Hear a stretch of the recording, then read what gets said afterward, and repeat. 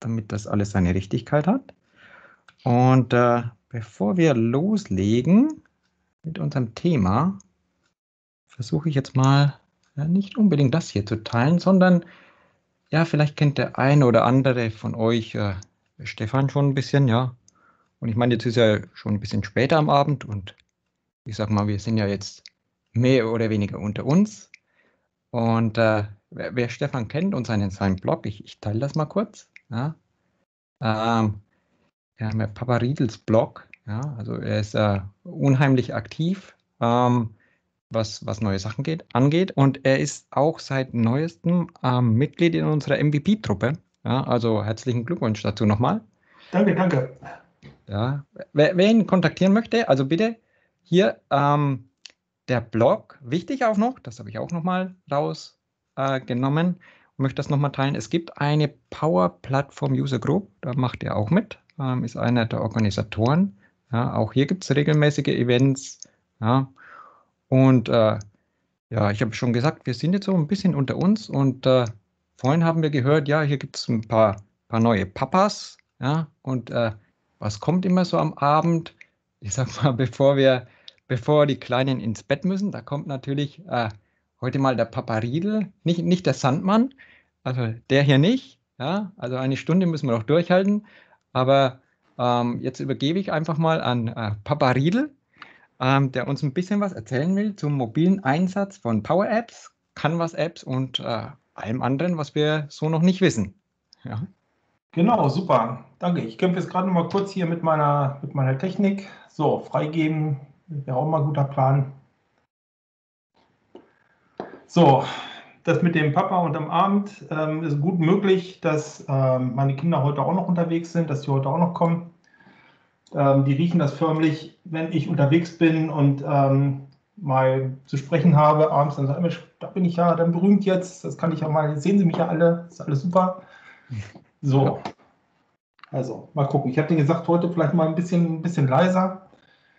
So, Slideshow starten bitte. Das tut sie.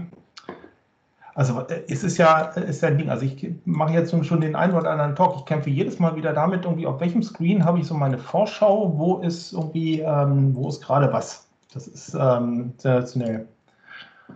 So, aber jetzt darf ich. So, jetzt seht ihr das. Fantastisch. So, jetzt muss ich natürlich obligatorisch auch nochmal fragen, seht ihr alles? Genau, also man kann das gut sehen, jawohl. Ja, sehr gut. Alles klar. Genau, das bin ich. Also vielen Dank für die Vorstellung. Ähm, es kürzt, kürzt es natürlich gleich ein bisschen ab. Vielen Dank für die Einladung auch, irgendwie, äh, dass ich hier mitmachen darf. Ist total super. Ähm, ich bin in dem letzten Vortrag ein bisschen später reingekommen, weil ich heute ist halt auch äh, unsere äh, lokale Community gerade am Start. Aber ich habe gerade ähm, in der letzten Slide noch gesehen von Martin, irgendwie, dass irgendwie der Ursprung auch aus Hannover ist. Finde ich ja total super. Ähm, dort komme ich auch her, dort sitze ich. Ähm, ich habe eine kleine Unternehmergesellschaft hier. Ich bin genau eine Person, das heißt in der vollen Mannstärke angetreten. Äh, bin 49 Jahre alt, habe zwei Kinder, die, wollen wir mal gucken, ob sie noch hochkommen zum guten Nacht sagen, die 8 oder 6 Jahre alt sind. Meine Kontaktdaten, die blende ich gleich, zum, äh, gleich äh, so in einer Dreiviertelstunde dann nochmal ein, ähm, wenn wir fertig sind. Ähm, ansonsten, ja, den Blog at Papariedel, da findet man mich. Ansonsten, ich habe auch sowas wie eine handelsübliche E-Mail-Adresse. Und ähm, wer jetzt schnell ist, der kann das jetzt abscannen. Ansonsten die Slides, ähm, die ähm, schicke ich dann rüber. Ich weiß noch nicht wohin, das kriegen wir aber dann, glaube ich, noch. Und da könnt ihr dann alles mitnehmen, da habt ihr dann auch nochmal alle, ähm, alle Daten. Genau, ich habe zwei Communities ähm, zusammen mit dem Tomislav Karapilov. Der spricht jetzt gerade parallel noch. Und das ist äh, die Cloud and Collaboration Community in Hannover. Wir haben allgemeine Office 365 Themen, äh, Microsoft 365 Themen. Ähm, es geht also jetzt gerade ist Teams in Verbindung mit Power Automate, äh, worum es geht. Dann hat man noch ein Teams-Thema ähm, vorhin, aber ansonsten geht es halt auch um alles drumherum. Also von Planner über To-Do, natürlich jetzt auch viel Power-Plattform. Und ähm, wir treffen uns also achtmal im Jahr im Rahmen der, dieser Community und viermal im Jahr mit der ähm, POPs und Power Automate User Group, wo wir dann halt uns dann äh, ganz konkret halt diesen Themen widmen. Genau. Ähm, Nochmal zur Erinnerung, warum wir hier sind. Die, die Power-Plattform Ähm, mein Thema ist ähm, Power Apps.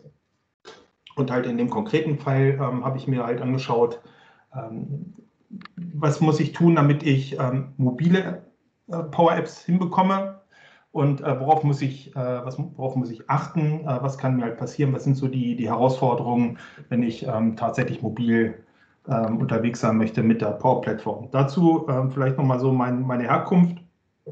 Ich habe irgendwie Anfang der, ich mal überlegen, 2005 angefangen mit, ähm, mit SharePoint und Infopass. Das war so die ähm, SharePoint 20, äh, 2003 und Infopass 2003 und da so die ganzen so, so Urlaubsanträge, Reisekosten, ähm, Abrechnungen etc. Also diese ganzen Geschichten gemacht und mir damals geschworen, ich würde das niemals im Leben wieder tun. Und genau das sind die Anwendungsfälle, die ich jetzt, äh, die ich jetzt halt auch wieder bearbeiten muss. Das heißt, ich kümmere mich also ähm, jetzt genauso wie damals um die Digitalisierung von allen möglichen ähm, Prozessen. Und auch damals war es schon ähm, so, dass man natürlich auch offline irgendwo sein musste. Ich sage mal, wir leben in Deutschland, ähm, dass wir keine Verbindung haben, gehört hier zum Alltag. Und ähm, von daher ist das Thema, äh, drängt sich halt auf. Die Anwendungsfälle, ähm, um die es geht. Ähm, nur mal so, das sind so die vier Bereiche, die mich entweder privat interessieren oder die halt über Projekte ähm, reingekommen sind. Das eine ist die Abfrage von Expertensystemen. Da gab es ähm, mal schön, das ging über Twitter und, und äh, LinkedIn. Eventuell ist auch jemand halt jetzt im, im, Publikum davon, dann möge er dann vielleicht dann aufschreien. Da ging es darum, um die, die, ich weiß nicht, Wasserwerke, Gelsenkirchen, Bochum, äh, die Richtung, die halt regelmäßig ähm, ähm, Sensoren halt abfragen und dann halt mal schauen über, über Power-Apps und gucken, ähm, die Werte, die wir jetzt haben, irgendwie sind die okay? Wie ist die Historie über diese Werte? Und ähm, fragen halt dann ab, was ist das in Ordnung, was ich jetzt hier an meinen Sensoren halt feststelle? Und ähm, haben halt die Möglichkeit, dann äh, über die Power Apps halt auch ihre Eingaben zu machen, die dann halt, wenn wir eine Verbindung haben, äh, dann halt auch gleich in ähm, entsprechenden in der Datensenke halt vermerkt werden. Dazu nochmal kurz die Anmerkung, bitte jetzt nicht lachen. Also ich bin, äh, wie gesagt, SharePointer, ähm, der Common Data Service. Ich benutze ihn gelegentlich in Projekten, ähm, aber ich benutze doch des Öfteren SharePoint als Quasi-Datenbank. Es ist so. Ähm, der zweite Pfeil, ähm, dazu habe ich auch eine kleine Demo, ist halt Wartung und Reparatur. Ähm, ich gehe halt raus oder ich bekomme jetzt halt meine Wartungsaufträge, die ich zu tun habe, ähm, fahre dann raus äh, zur Maschine, die ich halt zu warten habe, lass mir vorher noch äh, von der Power App zum Beispiel erklären, ähm, wie, wie, groß ist die Strecke, wie ist der Verkehr, äh, wie lange werde ich brauchen in Bezug auf den ähm, auch aktuellen Verkehrs, äh, auf das aktuelle Verkehrsaufkommen und äh, mache dann ein paar Fotos davon und lasse mir vielleicht noch ein paar Ersatzteile auflisten, die ich vielleicht online auch gleich bestellen kann, sofern wir eine Verbindung haben. Observations ist ein großes Thema. In dem Moment, wenn ähm, wir ähm, produzierendes Gewerbe haben, zum Beispiel, also das war zum Beispiel mein Anwendungsfall, es war ein Automobilzulieferer, wo es darum geht, regelmäßig mal zu schauen, ähm, sind die Gelik-Platten noch in Ordnung oder guckt da irgendwo was raus, sind irgendwelche Äste, die jetzt in den Weg reinragen, ähm, sind die Gullis noch in Ordnung, nicht, dass ein Auto reinfährt, etc. So wird dann die Power-App genommen, um dann halt mal zu schauen, ähm, macht man ein Foto, gegebenenfalls irgendwie nochmal einen Kommentar dazu eingeben. Und ähm, das Ganze wird dann halt ähm, gespeichert. In dem Fall ähm, wird es zwischengespeichert in SharePoint, dann über Power Automate abgeholt und dann in Azure SQL dann wieder nee, in ähm, On-Premise äh, äh SQL gespeichert mit dem äh, On-Premise äh, Data Gateway. Und dann werden halt daraus dann weitere Schlüsse gezogen, wenn bestimmte Werke halt ähm, besonders hohes Aufkommen haben, in bestimmten Schadensklassen, dass äh, dann halt äh, da der Fokus drauf gelegt wird und dann bestimmte Aufgaben halt daraus generiert werden, das ähm, halt öfter kontrolliert werden muss. Geologging ist ähm, so der vierte Pfeil, das so typische Beispiel eigentlich so das, das Fahrtenbuch, jetzt ohne äh, sagen zu können, dass das jetzt ähm, eine anerkannte, ähm, rechtlich sichere äh, Methode ist. Ich weiß nicht, ob das Finanzamt das anerkennt, aber zumindest ähm, nutze ich das halt dann auch privat, dass ich halt, wenn ich ins Auto steige, ich drücke halt auf den Knopf, kriege halt meine Adresse über meine Geokoordinaten, kann das wegspeichern. Ich bin an meinem Zielort angekommen, kann das wegspeichern und jetzt kann man halt weiterdenken und sagen, so gut, jetzt geht vielleicht nochmal die E-Mail raus an ähm, meinen Vorgesetzten, ja, ich bin beim Kunden angekommen, ich bin jetzt da und kann jetzt weiterarbeiten. Genau. Dann zeige ich jetzt eine kleine Demo, die ich mit dem Tomislav Karafilov seinerzeit ähm, erstellt habe. Dazu muss ich jetzt meinen muss ich jetzt auf den richtigen Screen kommen, damit ich jetzt sehe, dass ich jetzt hier auch ähm, teilen kann. Share Contents. So, und dazu brauche ich das hier. So, ihr solltet jetzt alle eine kleine Power-App sehen. Die, Jawohl. Das ist ja. super. Fantastisch. Ähm, das, äh, der Anwendungsfall, nur, nur damit man einmal so sieht, wie es halt aussehen kann. Ähm, ich will da gar nicht jetzt so sehr ins Detail gehen, wir haben noch genug Details und wieder können wir zwei Sessions von machen. Äh, hier geht es darum, ich gehe jetzt einmal hin, ich bin im Office, ich habe Verbindung, ähm, ich sehe, ich bin online, ich habe hier oben den äh, Status einmal zu stehen sehe, alles klar, ich bin jetzt hier auch im Browser unterwegs. Ich gehe jetzt halt hin und verbinde mich einmal und ähm, stelle jetzt fest, okay, ich habe irgendwie zwei Aufträge, die ich halt zu bearbeiten habe und lade mir die jetzt auf meine App runter und habe diese jetzt bei mir lokal. So, vorher sind sie in SharePoint, also da liegen sie jetzt immer noch, aber habe mir die Daten jetzt auch lokal kopiert. So, nun gehe ich dann halt weiter und kann mir angucken, was habe ich jetzt für ähm, Aufträge ähm, zu erledigen. Ich muss also einen Fluxkompensator und Hoverboard reparieren. Ähm, der Fluxkompensator ist sehr dringend, dann fahre ich da auch als erstes hin und kann mir dann einmal anschauen, ähm, wo ich denn jetzt gerade bin. Spannenderweise, Europa Platz 1, das ist sehr schön. Und ich, ich sitze also knapp neben dem Messegelände in Hannover. Äh, die ganze Zeit während der Demos hat er meine Adresse 1, also wirklich akkurat erkannt. Das tut er jetzt nicht, aber na gut, ist halt so. Ähm, also ich bin jetzt quasi im, äh, auf dem Europaplatz 1, also auf dem Messegelände und muss jetzt hier, mein Ziel ist jetzt halt die Robert-Enke-Straße, das ist unser, äh, unser lokales ähm, Stadion. Ähm, genau, die Strecke sind ähm, 12,32 Kilometer. Ich brauche 12,83 ähm, Minuten unter Berücksichtigung des aktuellen Verkehrs. So. Geht also gut weiter, also geht also gut lang, weil meine Durchschnitts, ähm, ansonsten Durchschnittsdauer wären 13,63 Minuten, die ich jetzt bräuchte. Alles super. So, jetzt kann ich dann weitergehen, kann sagen, gut, ich bin jetzt an der Maschine angekommen. Ich möchte jetzt, ähm, ich möchte jetzt ähm, dort etwas tun.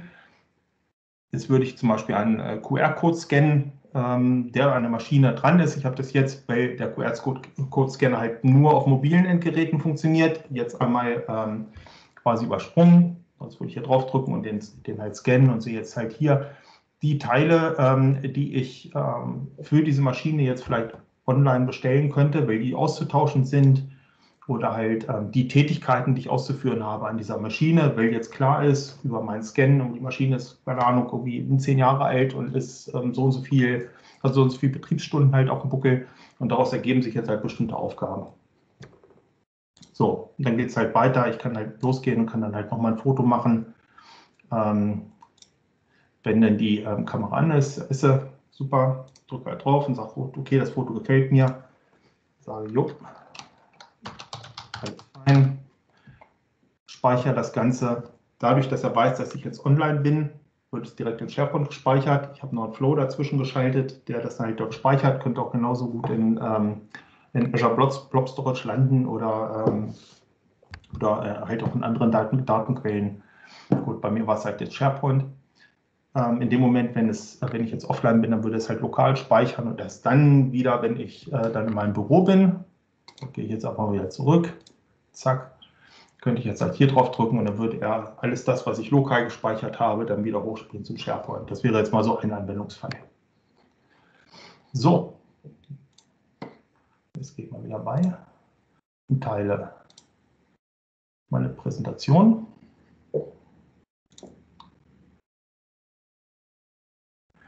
So. Wie kriege ich das Ganze auf mein Device? Ich sage mal irgendwie ähm, die, die Erstellung dieser Power App, wie diese halt jetzt auch, irgendwie, die habe ich normal im Browser ähm, vorgenommen. Ähm, da ist auch alles super, powerapps.com oder powerapps.microsoft.com. Komme da hin und wie kann meine App starten? Das haben wir vorhin auch schon gesehen, wie, ähm, wie das funktioniert. Super, aber wie kriege ich das denn jetzt irgendwie auf mein, ähm, auf mein Endgerät? Das ist ganz einfach. Ähm, ich lade mir einfach die Power Apps App herunter. In dieser App sind dann halt die Power Apps halt drin. Die gibt es halt dann für Android, für Windows 10 äh, und halt fürs, fürs iPhone. Und wie man halt ähm, hier auch ganz schön sieht. Und ähm, ich mache halt diese App auf und habe dann hier eine Übersicht über all diese Apps, genauso wie wir es halt vorhin auch gesehen haben in dem letzten Vortrag. Und habe ähm, dann natürlich üblich, muss ich nicht erklären, ich, ähm, über Touchscreen kann ich Unterschriften drauf machen, ich kann meine Map und alles und das habe ich halt alles über diese, diese App zur Verfügung. Was, ich halt, was halt noch schön ist, ich kann halt ähm, jede einzelne App noch mehr auf den Startscreen legen. Das ist eine wunderbare Sache, da ich dann diese App so benutzen kann wie jede andere App, die ich mir halt sonst auch so aus meinem äh, Play Store zum Beispiel runtergeladen habe. Genau, was macht er, wenn ich die, die dann auslöse, wenn ich auf diese App dann drauf drücke, dann macht er die Power Apps App auf, also quasi den Container und startet darin dann die Power App, die ich jetzt ausgewählt habe. Das ist eine ganz einfache Sache, wird einfach installiert, ist quasi selbsterklärend. Ganz feine Sache. So, Moment. Kommen wir zu den Herausforderungen, die wir haben und wenn wir mit mobilen Apps unterwegs sind. Weil letzten Endes ähm, eine Power-App ist per se erstmal mobil. So, dass ich wähle ähm, am Start aus, ob ich jetzt ein Tablet-View haben möchte oder ein Phone-View und ähm, damit kann ich das über diese Power-Apps-App ähm, in jedem Fall auf jedem äh, mobilen Device benutzen. Das ist überhaupt gar kein Thema. Ein Problem allerdings ist, ähm, dass ich ähm, per se kein, kein natives äh, responsives Design habe. Da muss ich mich also selber drum kümmern. Ein weiterer, äh, weiterer Punkt ist die Kompatibilität. Das ist mir in einem letzten Projekt auf die äh, Füße gefallen, weil ähm, meine Entwicklung ist halt im Web. Jetzt war das aber für mobil entwickelt und ich bin davon ausgegangen, dass schon alles das, was ich im Web halt auch ähm, so habe, dann halt mobil auch genauso umgesetzt ist. Ist es aber nicht. Das sind also zwei Sachen, die ich noch zeigen werde, ähm, wo man dann vielleicht mal aufpassen muss, wo man drüber nachdenken muss, ob das vielleicht auch gar nicht wichtig ist. Vielleicht ist es wichtig, werden wir sehen. Dann gibt es den Offline, ähm, den Offline-Modus, über den wir uns unterhalten müssen.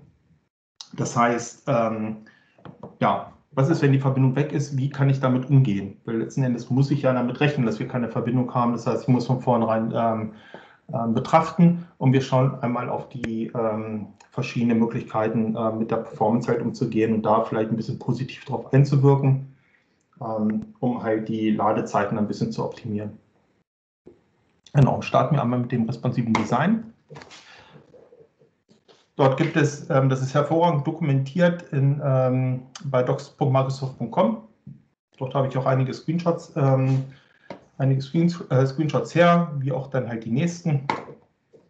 Denn das Ziel ist es ja letzten Endes, dass ich, egal auf welchem Device ich mich befinde, ähm, und egal wie ich es benutze, ob ich es nun äh, im Portrait Mode oder im Landscape ähm, benutze, dass ich immer die optimale Darstellung habe. Das funktioniert halt in Power Apps nativ so nicht, aber es ist auch kein Hexenwerk, dafür zu sorgen, dass es funktioniert. Und was, wie es funktioniert, das zeige ich dann jetzt gleich. Das Wichtigste bei der ganzen Sache ist, erstmal so äh, drei Settings erstmal auszuschalten. Standardmäßig ist es so, man sieht es auf dem Screenshot hier unten, hier ist nochmal die App, die wir vorhin gesehen haben. Er versucht, PowerApps versucht immer die, die App, die man hat, nach Möglichkeit genau in den Seitenverhältnissen, das ist in diesem Fall Log Aspect Ratio, ähm, anzupassen und dann den, den Platz, den man hat, optimal auszunutzen. Das heißt, er skaliert es so weit hoch unter Betrachtung des, der Einhaltung der Seitenverhältnisse, äh, dass es halt in, ähm, den, auf dem Bildschirm passt. Scale to Fit.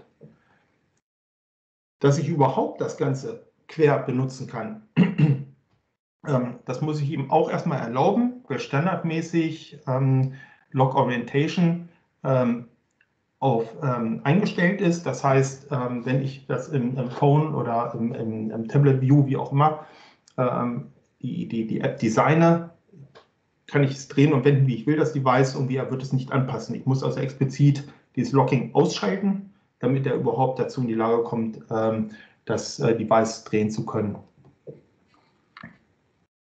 So, worauf muss ich da achten? Was sind so die, die, die Schlüsselfaktoren?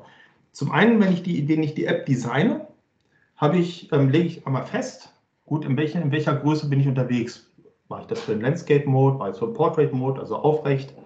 Ähm, ich kann auch Custom, das ist auch Mensch, ich möchte so und so viel, mal so und so viel Pixel haben. Das ist meine Design Width und Design Height. Das Gerät selber hat natürlich nochmal so sein eigenes Display und seine eigene Breite und seine eigene Höhe. Dazu kommt die Screen Orientation. Ich weiß nicht mehr seit wann, aber ich glaube im Laufe des letzten Jahres ähm, ist das dazu gekommen, dass ich halt abfragen kann, wie bin ich denn jetzt? Bin ich jetzt im Portrait Mode oder bin ich jetzt im äh, Landscape Mode? Und das sind so die drei wichtigsten ähm, Punkte, an denen ich mich halt aufhängen kann, um halt ein äh, responsives Design ähm, zu erzeugen. Wenn ich jetzt anfange mit so einer App, also in diesem Fall eine, eine Canvas-App, dann habe ich erstmal ein Canvas, ich habe halt eine Leinwand, ich ziehe mir da meine, ähm, meine Steuerelemente drauf, so wie ich es halt gerne hätte. In diesem Fall ähm, alles absolut positioniert. Ich habe hier gerne mal oben drüber so, so einen Header-Text, das finde ich total schön. Da kann ich den App-Namen reinschreiben oder ähm, den Namen des, der, der Funktion, um die es jetzt gerade geht. Habe dann noch so ein paar Funktionalitäten, die ich dann da noch mit integriere, so ein kleines ähm, Pluszeichen, um vielleicht einen Datensatz anzulegen und einen, ähm, einen kleinen Mülleimer, um Datensatz vielleicht zu löschen. Jetzt kann ich das alles halt normal positionieren. Ich sage, Mensch, hier 1024, so breit ist jetzt vielleicht mein Screen, ähm, so breit ist jetzt dieser Text und ich positioniere jetzt hier dieses Pluszeichen, weil ich jetzt Datensatz anlegen auf x-Koordinate 959 und daneben halt diesen Mülleimer. In der abschließenden Demo werdet ihr sehen, das bringt mich überhaupt nicht weiter, wenn ich auf einmal die Größe verändere. Weil er bleibt halt einfach dann bei 1024 oder 959. So, das ist ähm, die, die Position verändert er nicht dadurch, dass ich jetzt sage, äh, ich möchte jetzt irgendwie, äh, ich habe einen kleineren Screen. Was ich also machen muss, ist mit relativen Koordinaten zu arbeiten. Das heißt, in diesem Fall sage ich dann, nee, die Breite von meinem Label oben, von meiner Überschrift, die macht jetzt einfach mal zwei Drittel aus von der Bildschirmbreite. Zwei Drittel deshalb, weil ich daneben, das sieht man dann noch in der Demo, vielleicht den Anzeigenamen oder die E-Mail-Adresse des aktuellen Benutzers zum Anzeigen bring, äh, zur Anzeige bringen möchte, vielleicht das Foto, weil ich es ganz nett finde.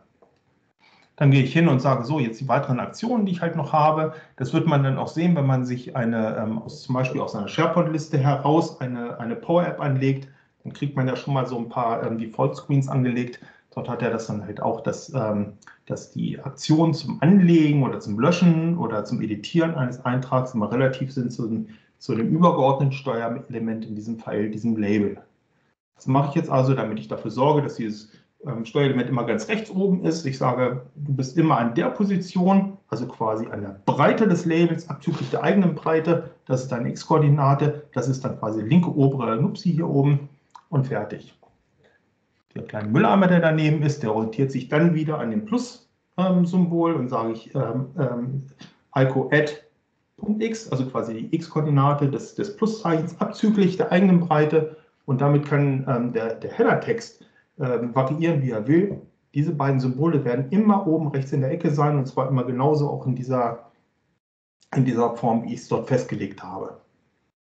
Das ist fein.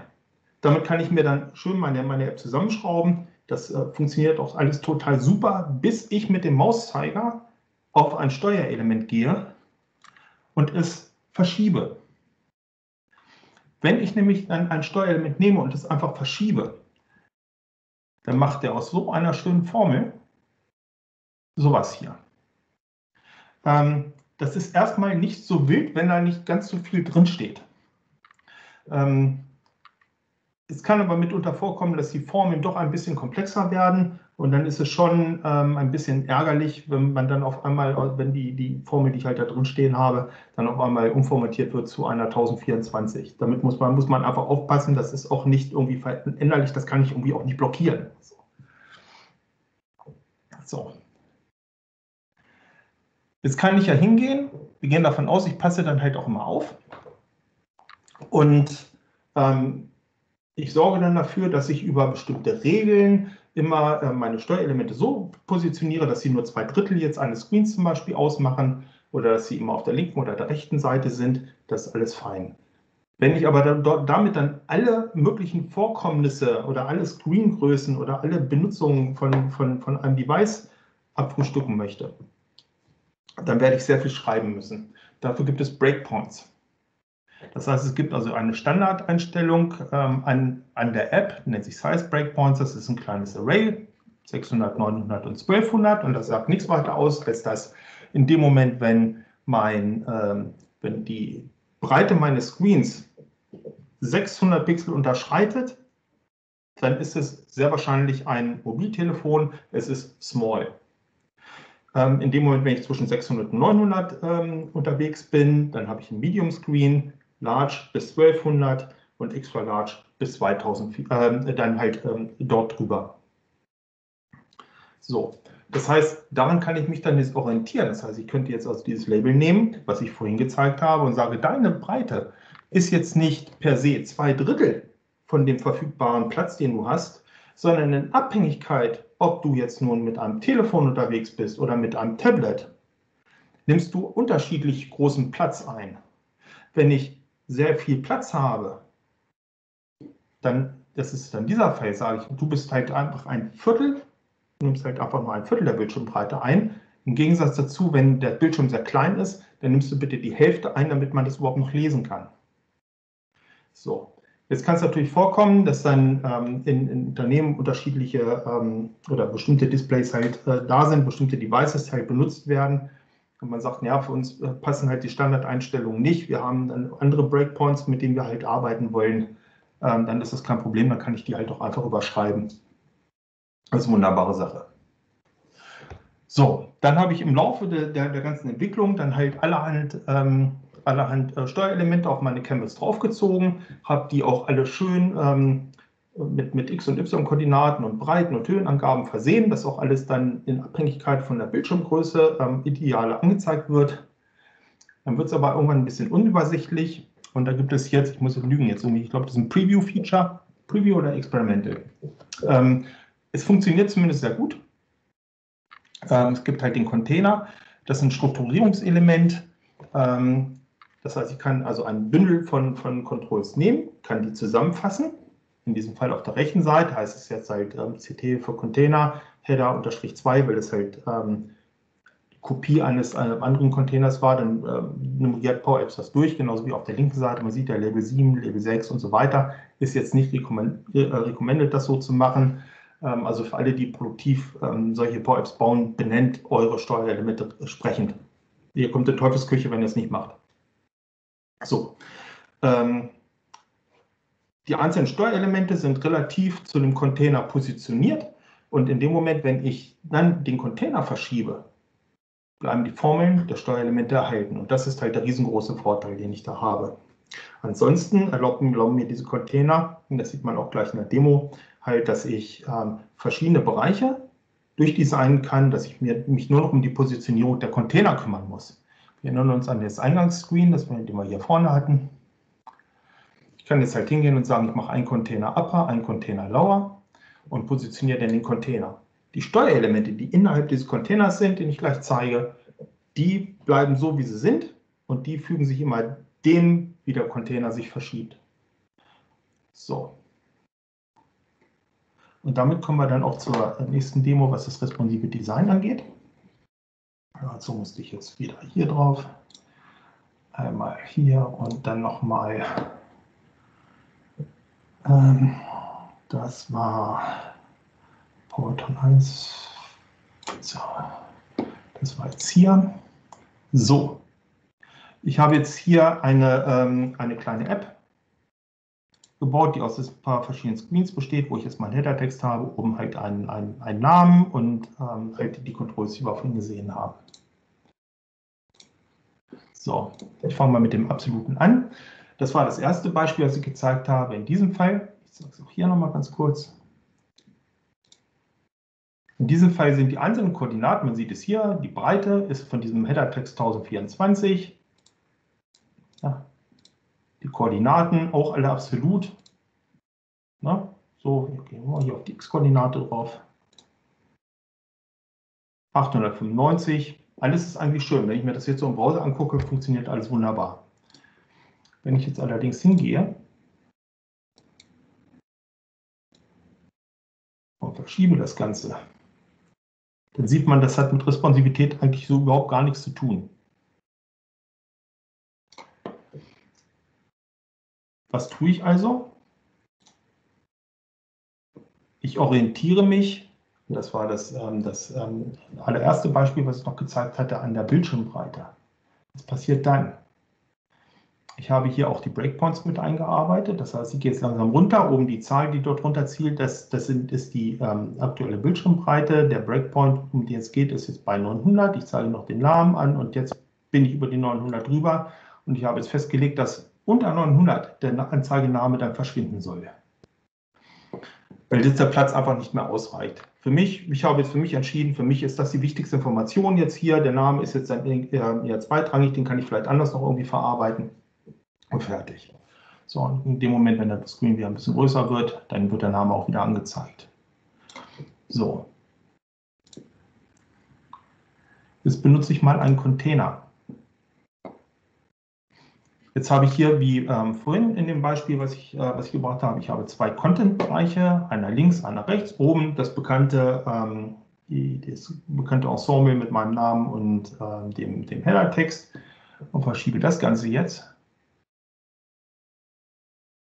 zack, und sehe, ah, alles klar, es hat sich ja was getan, es hat sich jetzt was verschoben. Das Problem, was ich jetzt nur habe, ist erstmal, dass ich meinen Mauszeiger jetzt hier hinbringen muss, damit ich den Bildschirm größer mache. Ich kann nicht scrollen. Ich habe, ich habe eine gewisse Größe festgelegt, schon im Design View, und da kann er einfach nicht rübergehen. Selbst wenn der Content jetzt noch weiter runter geht, ich komme da einfach nicht ran, er lässt sich einfach nicht scrollen. Da gibt es aber einen kleinen Trick. Es gibt nämlich dann einen Scrollable Screen.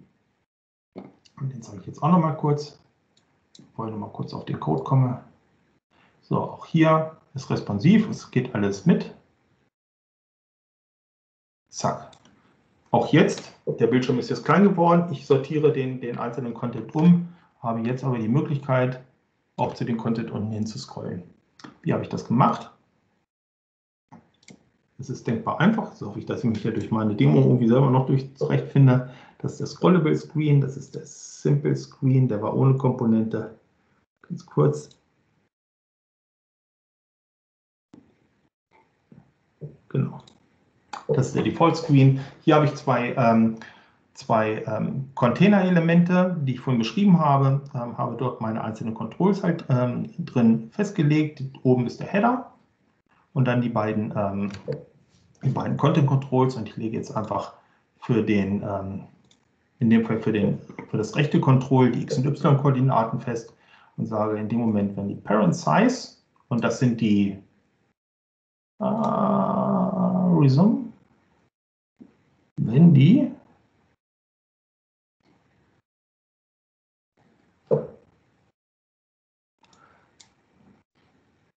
Da haben wir das Problem mit der Verbindung, ne?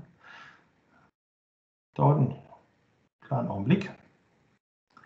Okay, jedenfalls, ähm, worum es geht, ist, dass ich dann auf der X- und Y-Koordinate halt einfach dann berücksichtige, wie breit ist mein Bildschirm. Und in dem Moment, wenn der Bildschirm zu klein ist,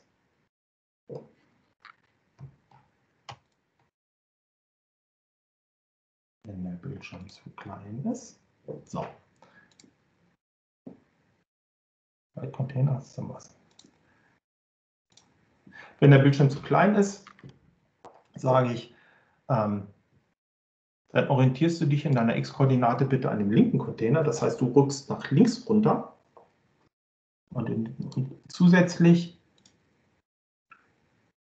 orientierst du dich bitte an der Höhe auch des linken Containers.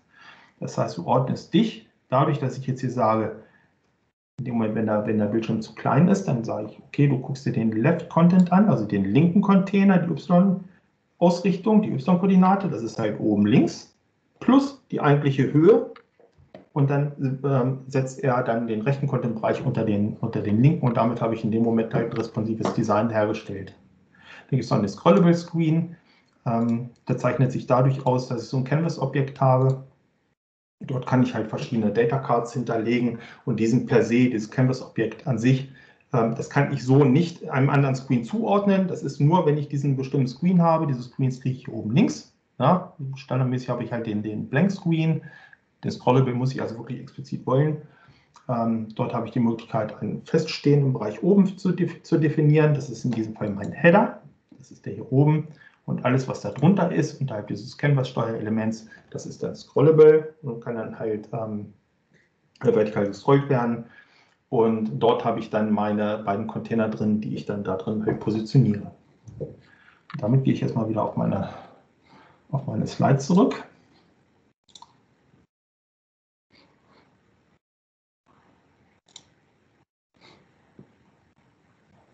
So. Kommen wir zum nächsten Punkt. Ähm, die Kompatibilität. Das sind ähm, zwei Sachen, die ähm, ja in einem Projekt ähm, auf die Nase gefallen sind. Und zwar ist Browser nicht unbedingt gleich Device. Ähm, ich habe jetzt in diesem Fall, das ist jetzt ähm, eine, eine Verbindung zu den Beispieldaten aus dem Common Data Service, die dort angelegt werden. Äh, das sind halt ein paar Produkte. Ich habe ja dann Kunden, Produkte und Adressen. Das sind in diesem Fall jetzt die, Produkten, äh, die Produkte und habe eine Combo-Box angelegt, in der ich halt auch suchen kann. Ich suche jetzt ein bestimmtes Produkt, könnte jetzt ein W eingeben und dann würde er mir die Wireless Maus, Wired Maus und die, das Wireless Keyboard halt äh, liefern. So, in dem Moment, wenn ich das Ganze auf dem äh, mobilen Gerät habe, sieht die ganze Sache dann halt so aus wie der Screenshot daneben. Das heißt, ich habe ähm, wirklich screenfüllend ähm, dann diese Anzeige und ähm, habe dann halt einen Anruf gekriegt, Stefan, das kannst du nicht machen, das sieht, äh, das sieht nicht gut aus. Ne? So, da haben wir doch vor, aber das Bild dahinter, das muss ich doch auch noch irgendwie sehen und das, ist, das, das, das verstehen die User nicht.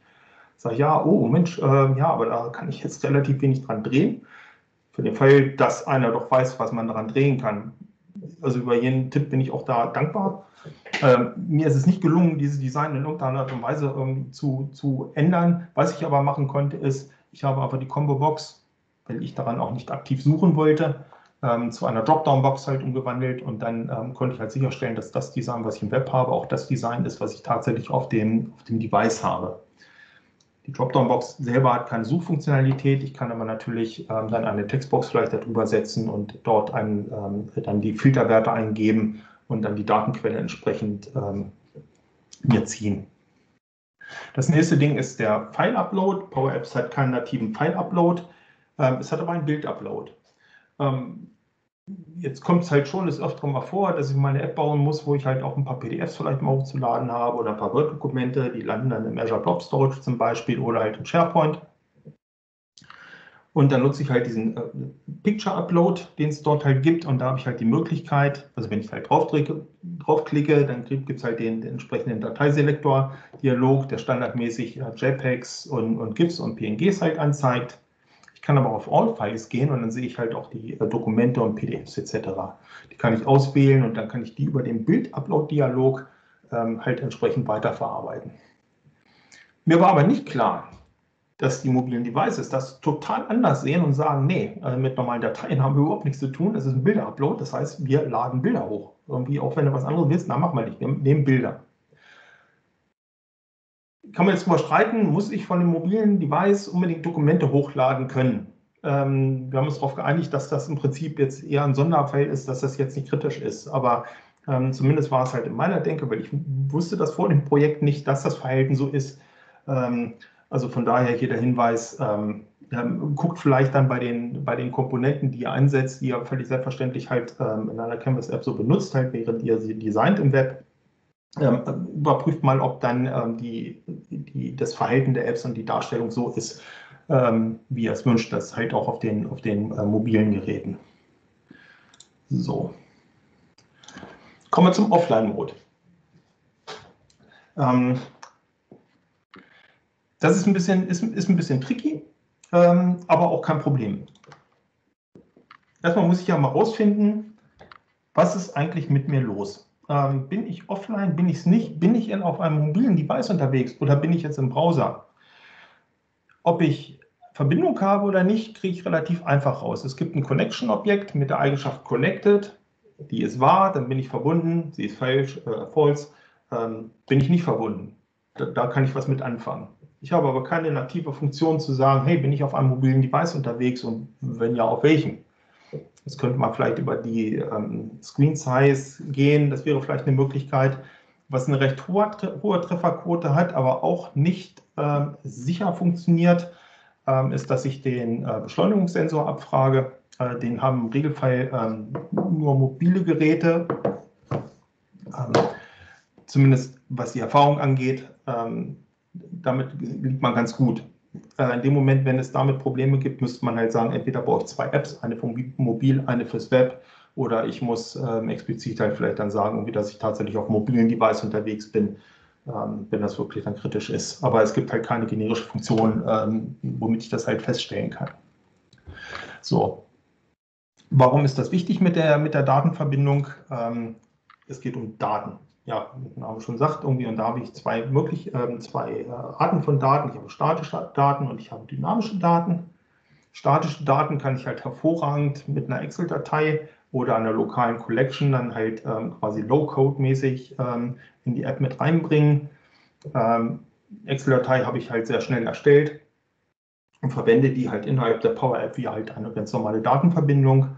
Das könnte man sich vorstellen, dass wenn sich das Produktspektrum eines Unternehmens vielleicht nicht allzu häufig ändert und ähm, aber die, die Außendienstmitarbeiter halt mit dieser App arbeiten sollen, dass man sagt, so, einmal im Monat gibt es halt eine aktualisierte App mit dem aktualis aktualisierten Produktkatalog. Wäre eine Möglichkeit, diese Daten dort in diese App reinzubringen. Mit den dynamischen Daten sieht das dann ein bisschen anders aus. Hier muss ich halt ein bisschen aufpassen. ähm, ich muss halt schauen, in, in, dem Moment, wenn ich halt online bin, muss ich mir meine Daten ziehen. Irgendwann muss ich online sein. So, mit dem Beispiel, wie ich es vorhin gezeigt habe, ist es so, vom Szenario her, ich bin halt jetzt in meinem Office, ich habe dort WLAN zur Verfügung, ich habe da vielleicht, ähm, ich habe sowieso eine gute Verbindung, ich habe ein 5G-Netz, keine Ahnung, und ähm, jedenfalls, ich bin online. Was ich dann also mache, ist, ich ähm, sage, alles klar, lade einfach jetzt in diesem Fall von SharePoint von einer Liste All Open Work Items äh, lade in eine, in eine lokale Collection auf dem Handy äh, aus der Liste Work Items bitte alle die, ähm, die Work Items, die zu dem User, also zu mehr als angemeldeten User gehören, die halt offen oder in Arbeit sind. Sobald ich diese Daten runtergeladen habe, speichere ich diese Daten bei mir lokal auf meinem Device. Da gibt es eine Methode Save Data. Ich muss nur einen Dateinamen angeben. In diesem Fall ähm, gibt es keine Dateiendung, es ist einfach nur der Name und das reicht und sage dann alles, das, was halt in dieser Collection ist, die ich mir gerade erzeugt habe mit den Online-Daten, die speichere ich mir jetzt ähm, lokal auf, ähm, auf meinem Handy und dann arbeite ich halt auch wirklich mit, äh, dieser, mit dieser Collection. In dem Moment, wenn ich dann jetzt unterwegs bin, ich habe meine Daten alle lokal gespeichert und habe jetzt aber vielleicht mal eine Verbindungsunterbrechung, mein Akku ist alle, äh, das Telefon ist aus und ich mache das Telefon wieder an, weil ich jetzt wieder Strom habe und ich habe wieder Verbindung und alles ist wunderbar, dann brauche ich jetzt weiter meine Daten. Das heißt, ich muss in App on Start, das ist die erste Methode, die aufgerufen wird. In dem Moment, wenn ich, wenn ich äh, die, die App halt aufrufe, muss ich halt dann einmal schauen, gut, sind die Daten, die ich äh, jetzt ähm, lokal mir gespeichert habe, sind die noch da? Wenn ja, dann lade sie bitte. Und dann baue ich mir dann wieder meine lokalen Collections auf, All Open Work Items, ähm, Bilddaten und Audiodaten aus meinem Beispiel jetzt und arbeite dann wieder entsprechend auf diesen lokalen Datenbeständen. Bleibt als letztes dann noch der Upload.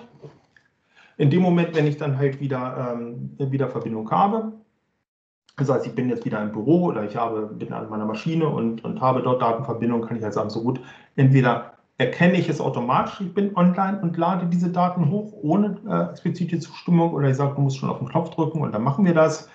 Und ähm, nichts einfacher als dass ich halt meine lokale Collection halt einfach durch, wo meine offenen Work-Items drin sind und patche dann in diesem Fall in SharePoint halt die Liste Work-Items, könnte auch in Azure SQL oder anderes sein oder Common Data Service und setze dann, ähm, aktualisiere die Daten, die ich halt mit meiner App erfasst habe.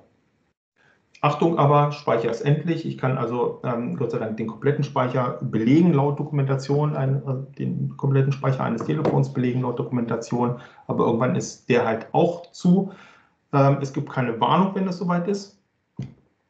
Ähm, von daher muss man einen Modus finden, zu sagen, hey, äh, wir wissen, dass wir mit 50 Bildern und ein paar ähm, Diktaten kommen wir ganz gut lang. Damit ähm, ist der Speicher halt nicht, nicht wirklich ausgelastet und danach machen wir halt eine Warnung so per se nach 50 Bildern, die wir vielleicht gemacht haben, die wir lokal speichern, so sagen, hier, pass auf, äh, vielleicht noch 25 und dann ist mal Feierabend, dann brauchst du halt mal wieder eine Datenverbindung. Dann gibt es noch ähm, ein wesentliches Problem, das ist die Kollisionsbehandlung. Man sieht es hier, ich habe dieses Client äh, Doppelpunkt False gesetzt.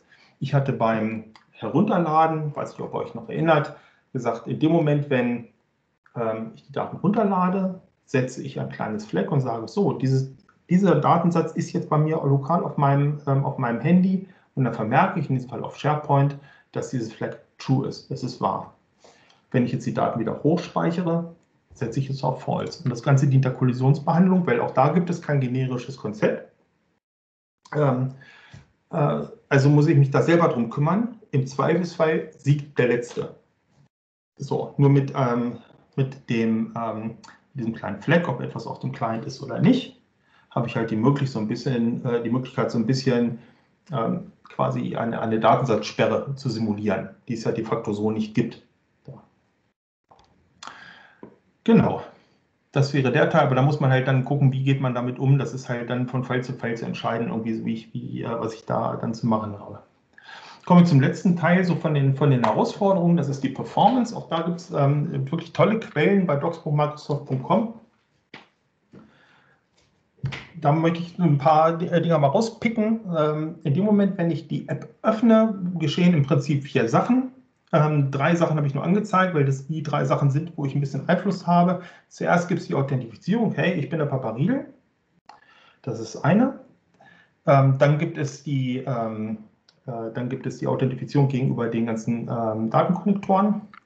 Dann werden sich die Metadaten, und das ist der Fall, der jetzt hier halt fehlt, ähm, einmal gecheckt. Irgendwie, da habe ich aber keinen Einfluss drauf. Da geht es darum, welche Version ist das, äh, wie heißt die App, äh, welche URL ist das, etc. Dann erfolgt das App on Start, das heißt also eine Routine, die bevor der erste Screen aufgebaut wird, äh, wo im Regelfall die Daten geladen werden und danach erfolgt, die, ähm, erfolgt das Rendern der einzelnen Bildschirme. Kommen wir zur Authentifizierung. Empfehlung von Microsoft ist, ähm, nutze maximal 30 Datenquellen, weil die, ähm, wie gesagt, die, jedes Mal am Anfang einer App ähm, man eine Authentifizierung durchführen muss, für, für all diese Datenquellen. Also ich muss jetzt das nicht jedes Mal aktiv tun. Es gibt einen Consent-Bildschirm, wenn ich sage, so, ähm, erlaubst du den Zugriff auf das, das, das, das, das? Und dann sage ich einmal ja, aber im Hintergrund muss er trotzdem diese Anmeldung machen. Und erst wenn er damit durch ist, geht es im Prinzip weiter. Das ist das eine.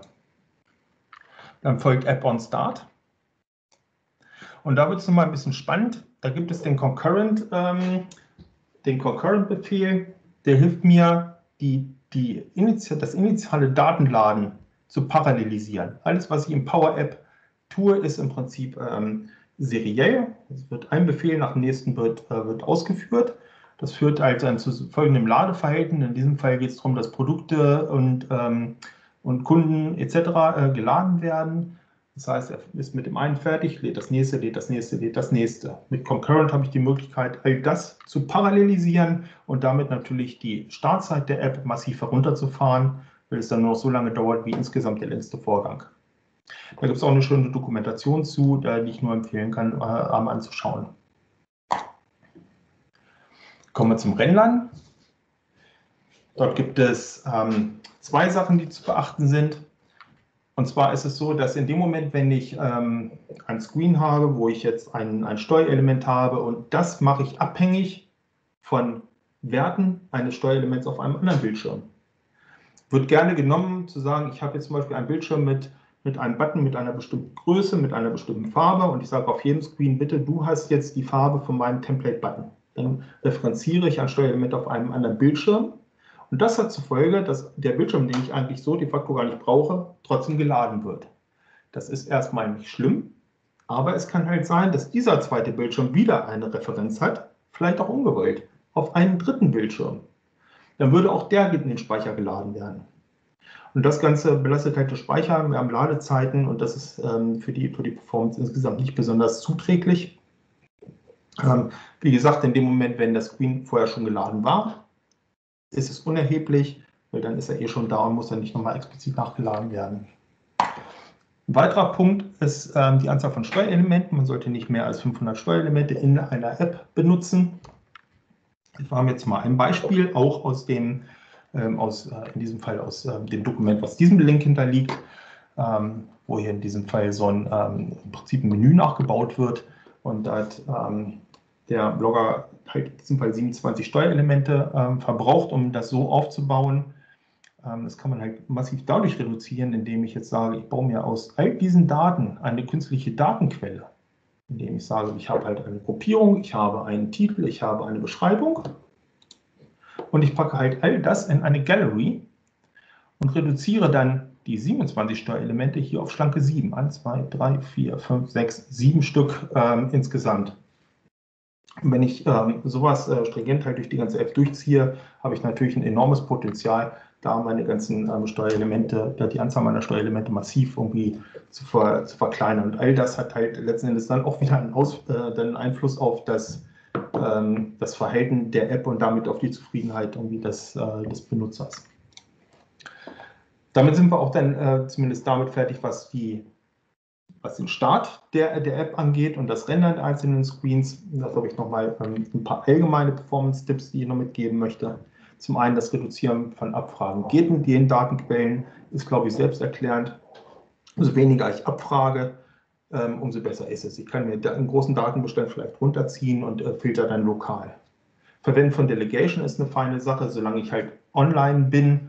Ähm, gibt zwei Möglichkeiten, entweder lasse ich die Datenquelle meine Filter aus, ähm, ausführen oder ich mache es lokal. Ähm, Im Regelfall ist es immer schneller, wenn ich dann zum Beispiel in SharePoint, Commendator Service, was auch immer, die Abfragen filtern lasse und ähm, die aufwendigen Operationen durchführen lasse und das nicht, lasse das halt nicht auf meiner auf meine App machen, die mir dann ein schlechtes Gefühl gibt.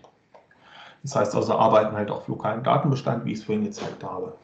Dazu regelmäßiges Veröffentlichen jeder App. Ähm, ich glaube, alle drei Monate ist empfohlen, dass ich eine, eine äh, App ähm, veröffentliche, damit einfach dann die neuesten Features auch mit bei sind. Es gibt gelegentlich auch mal Änderungen an den, äh, an den Objektmodellen, damit das halt mit rüberkommt und halt man immer mit dem neuesten Framework arbeitet, ist das halt auf jeden Fall empfohlen.